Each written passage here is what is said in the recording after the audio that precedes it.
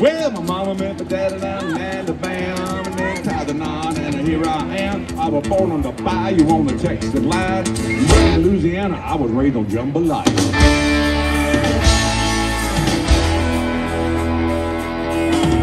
I I had a guitar in my hand, and I could talk, I had a pretty good band.